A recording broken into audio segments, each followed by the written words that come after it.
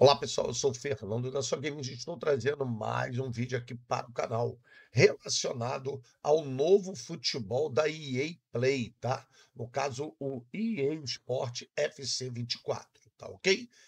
E antes do vídeo, vou pedir a você que deixe o like e se você ainda não segue o canal, dá uma força aí, pessoal, e segue o canal, tá bom?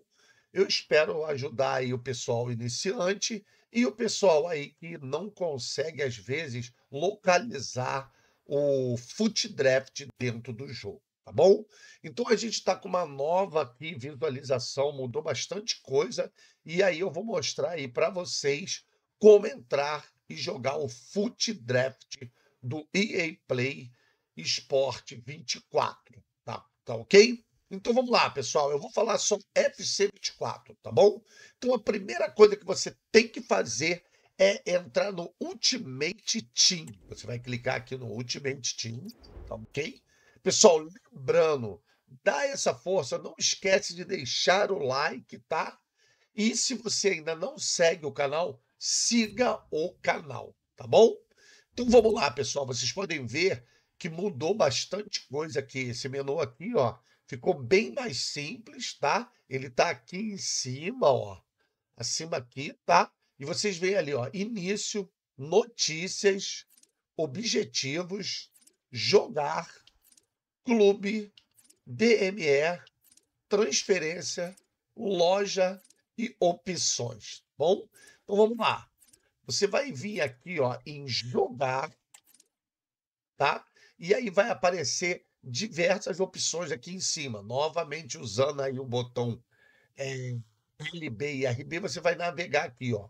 Então tem Squad Battle, Momentos, Rivais, Champions, Amistoso, Lobby Cooperativo, o Draft Online e o Draft Solo, tá?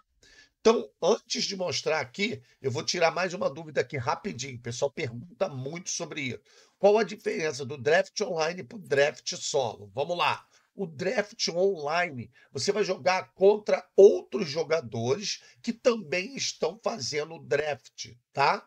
Então não tem nível de dificuldade. Você simplesmente vai fazer teu draft e quando você for jogar, você vai jogar contra outra pessoa, tá bom? Já no draft solo, o que, que acontece? Você vai poder ali escolher qual o nível de dificuldade você vai jogar. Porque os jogos, apesar de serem online, você joga contra a máquina.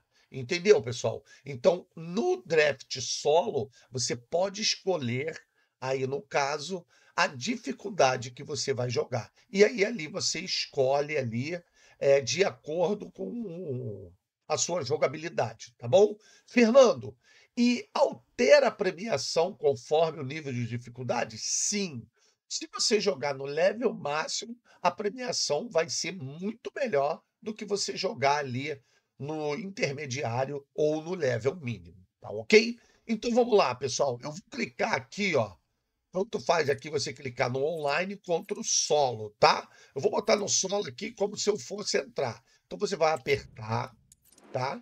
E aí você vai vir para esta tela, tá bom? Nesta tela, pessoal, ele aqui mostra para você, ó, que você tem duas maneiras de entrar aí no Foot Draft, tá? Você pode entrar com 15 mil moedas. É, Fernando, o que, que são essas moedas?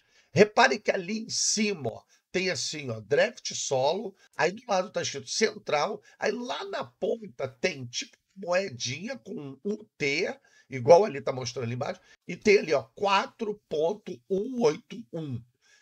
Aquelas moedas ali, se eu tivesse 15 mil moedas, eu já poderia entrar no draft, tá?